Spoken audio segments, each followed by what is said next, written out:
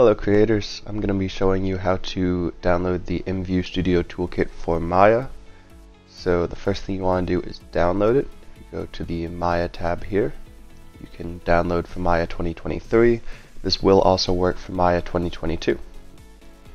You'll want to have open a file explorer at the location Documents, Maya, Version, Scripts, and move that zip into there.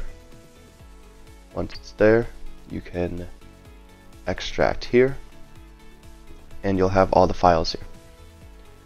Next, you can open Maya. I have 2022 open, and you can find the file IMVU Studio Toolkit install.